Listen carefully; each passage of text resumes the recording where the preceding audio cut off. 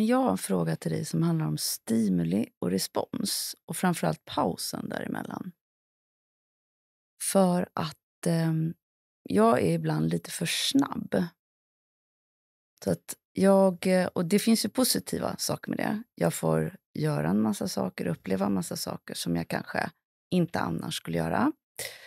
Eh, och den mer andra sidan är ju kanske att jag då inte alltid håller mig på banan och får till de där grejerna som jag tänkte göra därför att jag går på stimulit eh, och inte tar den där pausen. Och det finns också den där andra delen. Det där är ju något som drabbar mig själv. Men sen så finns det den där andra delen när jag är så snabb så att jag också kanske avbryter andra när de pratar. Eller att jag säger direkt det jag tycker att jag vill säga. Eh, utan att tänka på att ah, det här kanske faktiskt kan påverka någon annan negativt när jag säger det här. Eh, och då tänker jag sådär att men om jag vill utvecklas lite då handlar det nog faktiskt om att, att jobba med det där. Att ta den där pausen mellan det där stimulit och responsen. Oavsett egentligen hur, hur lång den där pausen är. Men att jag faktiskt medvetet gör det. Mm. Intressant. Och jag tänker eftersom du har formulerat det här väl och varit i det landskapet kring frågan en hel del, kan jag tänka mig. Eh, varför är det det du har kommit fram till är arbetet för att utvecklas? Alltså det finns ju såklart jättemånga grejer som jag kan göra. Men, men där är det för att jag har... Ehm, jag har ett behov av att rensa i min kalender. Rensa i att komma till att det är faktiskt det är det här som jag vill ägna min tid åt nu för att jag ska känna att det blir en meningsfullhet Fattar. i det. Så i stor utsträckning är då det du vill bli bättre på, är det att säga någon version av nej? Och säga medvetet ja. Just det. Och du har kommit fram till att i stor utsträckning är din kalender så full för att du bara brukar säga ja? Ja, ganska ofta så handlar det om det. Ja. Ja, det här var en jättebra idé. Det här gör jag. Ja, yeah, yeah. jättekul människa. Det här måste jag se till att träffa mer. Jättekul. Yeah. Både på jobb och privat. Mm. Just det. Och då är eh, det väldigt mycket bokade möten för att träffa människor. Mm. Är det lika mycket eh, arbete inbokat också? Eller skulle du säga att det är väldigt mycket mer träffa spännande människor än det är eh, jag har satt mig ner nu och ska skriva en text eller jag ska återkoppla på ett arbete eller jag ska... Är det... det är betydligt lättare att prioritera och är mer, nu ska jag se till att träffa människor för det kan komma någonting ut av det. Eh, och mindre sitta och skriva eller rita eller vad det är nu jag ska göra. Just det. Är det det huvudsakliga problemet om man skulle liksom ha en hierarki av problem då mellan, mellan det och det här med att du eh, ibland säger vad du tycker väldigt snabbt och det påverkar andra människor negativt? Ja, det är mer det första. Yeah. Yeah. Därför att det andra, det kan jag ju... Um, det är ju när jag har ett engagemang eller i, i känslorna. Yeah, då bli, finns det ju ingen... Men jag är också ganska trygg i det.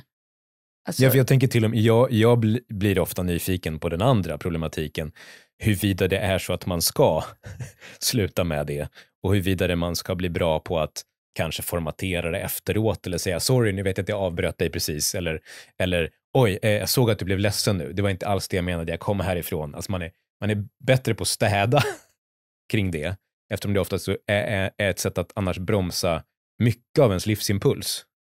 Eh, så, så att kring, kring det andra så har jag, jag har lite mer tveksamhet. Mm. eh, och därför undrar jag också i mm. hierarkin mm. av vad vi ska lägga tid någonstans mm. på om vi är på den första. Liksom. Mm. För det jag undrar då också är ju, det finns ju oftast en anledning till varför man vill träffa massa människor och här kan det hända någonting. Eh, är det så att det finns en stor poäng för dig att träffa människor därför att det har med din verksamhet eller ditt liv att göra och det leder ofta till de målsättningar du har? Är det, är det... Ja, det är det som är utgångspunkten i alla fall. Yeah. Att jag att jag tänker att det här skulle kunna bli någonting. Just det. Ehm, och kopplat till att jag under en period har också varit lite osäker på vad är det vad jag ska ta vägen med det här jag ska göra. Fattar. Och kort fråga på det då. Upplever du att att ha gjort som du har gjort nu, att träffa massa människor, har det hjälpt dig att närma dig det du vill göra framåt? Nej, egentligen inte. Okej. Skulle det kunna vara så att du egentligen vet vad du skulle vilja göra framåt, men du delvis använder nya möten med människor som ett sätt att lite fly undan det beslutet? Ja, så tror jag nog att det har varit. Ja. Under sommaren så upplever jag att jag, då har jag gjort en sån där, nu, det är det här jag ska satsa på under ett och ett halvt år. Det är det här det. jag ska satsa ja. på. Så då handlar det mer om att nu, att faktiskt ja, men, påminna sig om, vänta, vänta. För det är så lätt fortfarande att säga så här, det där är ju skitkul, jag gör det där. Så nu är träningen att hålla dig ansvarig för det du har bestämt dig för? Ja, Just det. Och hur skulle du säga att du jobbar med det idag? Idag så jobbar jag med dels med planering. Ja, Mm. men hur, hur ska den här veckan se ut? Hur ska dagen se ut? Eh, och otroligt noggrann med att kryssa över mina dagsplaneringar så att jag verkligen känner att något händer. Eh, men när det gäller det där, det där, det där snabba stimulit som kommer, typ någon ringer och frågar eller jag får en idé när du och jag sitter och pratar här. Ja, så får ja. jag, "Åh, där skulle vara. Den, att bromsa den kanske lite oftare, där är jag inte. Just det. Så vad är din fråga till mig egentligen? När jag, är, när jag får det där stimulit, eh, hur kan jag fånga pausen?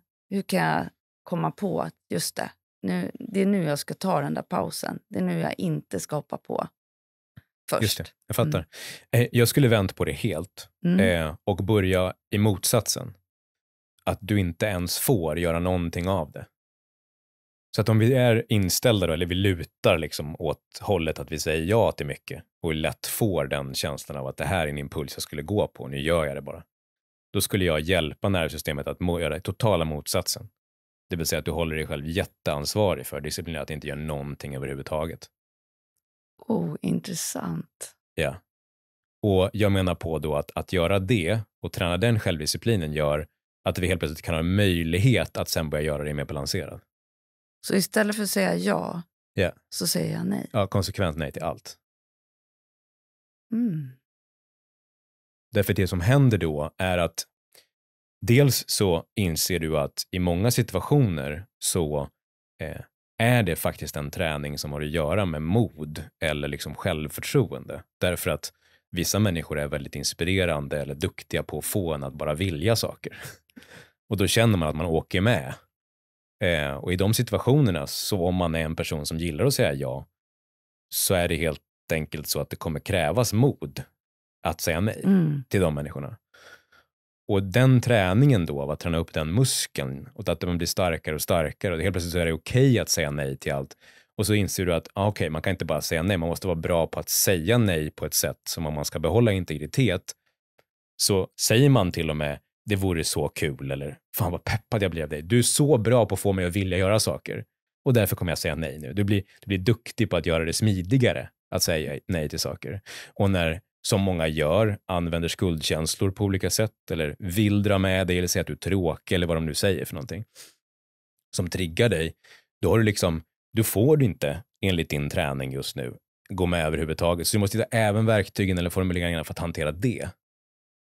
Så du stänger liksom in dig själv i en värld där du måste bli duktig på hela språket och kalla det för den mentala kampsporten då, av att hålla folk borta.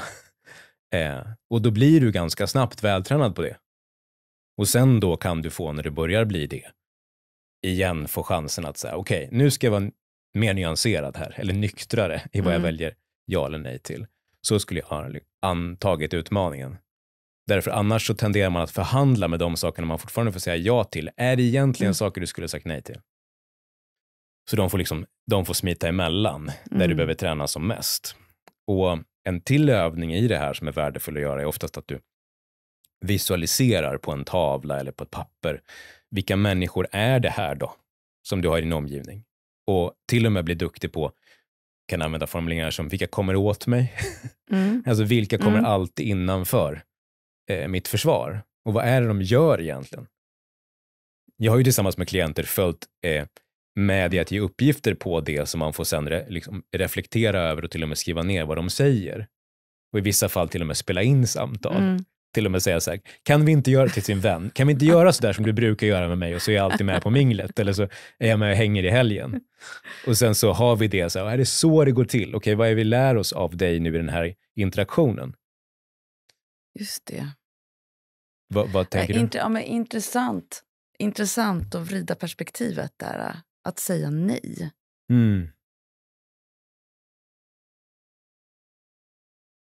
För det kopplar ju också till att också vå- att hjälpa kroppen, tänker jag då, till att säga, känna vad är behovet för just mig.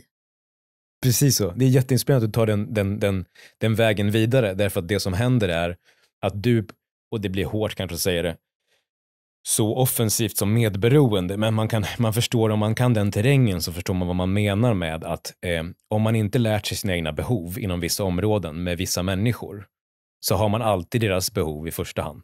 Precis. Och den arketypen av person som är så, som du hade när du växte upp, eller i din omgivning, eller din syskon, eller någon förälder, eller kanske studiekollega, eller vad, vad som helst, eh, är personen nu som alltid kommer åt dig. Och du hinner inte ens, apropå impuls eh, och paus, du hinner inte ens utvärdera egna behov.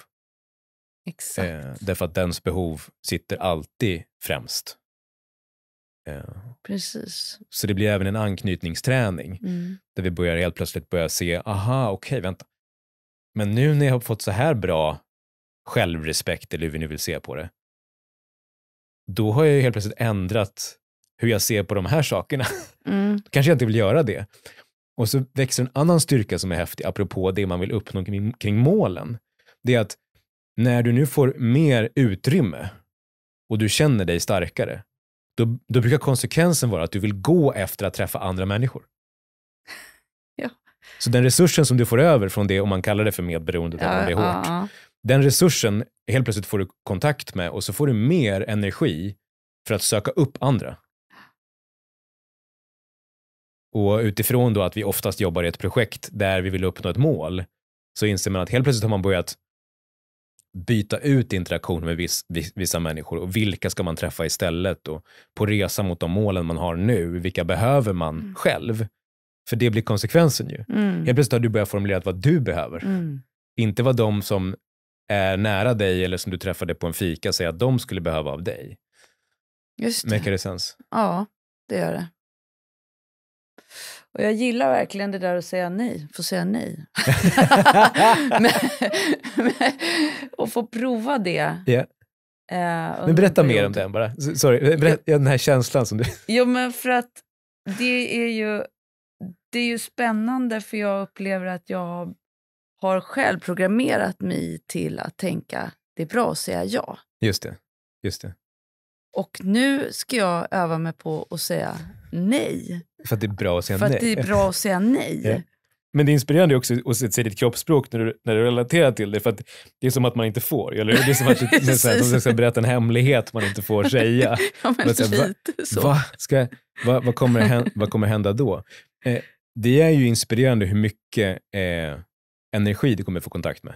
Ja, verkligen. Verkligen intressant. Att, och jag, tänk, jag tänker så här, spännande att börja föra bok på det där. Ja. Hur många gånger börjar jag gå efter att ha börjat säga nej till...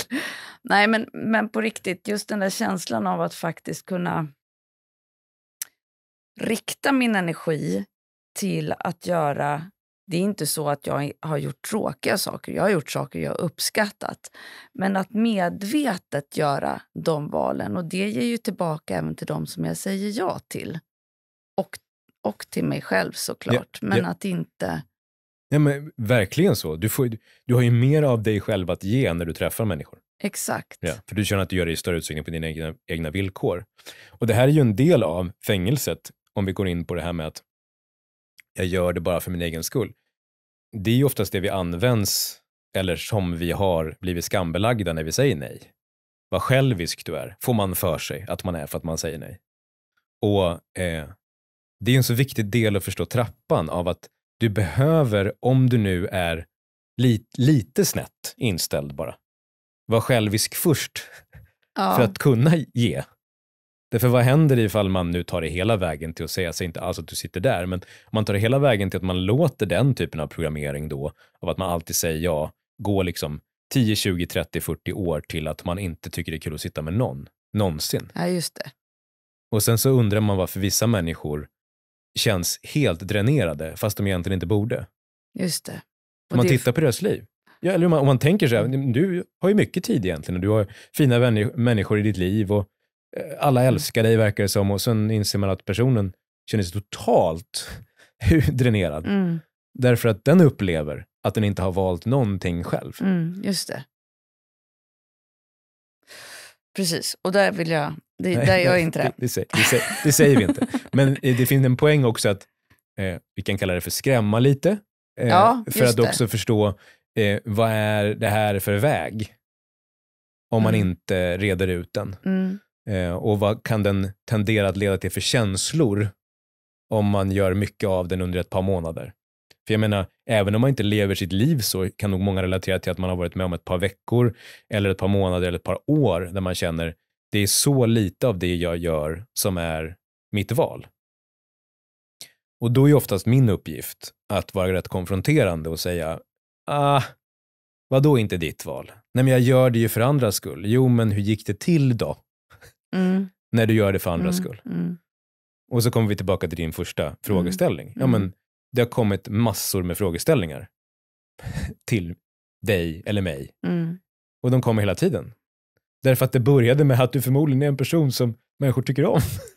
som är Du gill- social. Ja, du gillar, gillar energin från dig. Mm, Så det är en jättepositiv egenskap som vi börjar med. mm. Och som vi vill se till att ta hand om så mycket vi bara kan för att kunna använda den eller nyttja den det vi behöver. Vad skulle du säga att du instinktivt, om man skulle översätta den här, eh, vad skulle du instinktivt börja göra mer av? Om du fick mer resurs?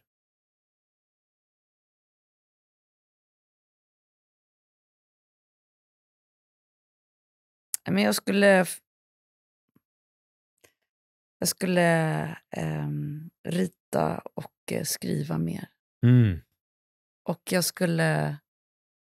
Jag skulle träffa eh, i jobbet Mm. folk. Jag skulle göra eh, det jag gör när jag träffar människor, alltså i arbetet. Det Just skulle det. jag göra mer utav. Ja.